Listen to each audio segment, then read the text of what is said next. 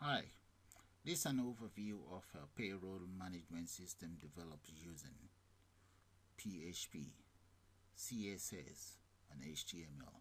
So let's enter this guy's details there. And let's say his name is Peter Parker and the address there. Postcode, that's the postcode is mail and right in here, that's his reference number and that's the company he's working for. His address right there. Number one always road. Now let's look at the tax period. That's the tax period there. And in here we have the tax code. Date. That's the date. Okay.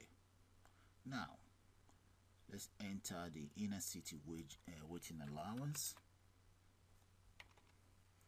And basic salary let's say that's his basic salary. Overtime. Overtime worked. There we go. That's all we need. Those are all the information we need. All we then need to do now is to click on submit.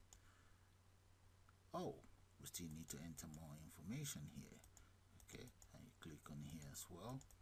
Get the national insurance number. So we can now click on submit. There we go.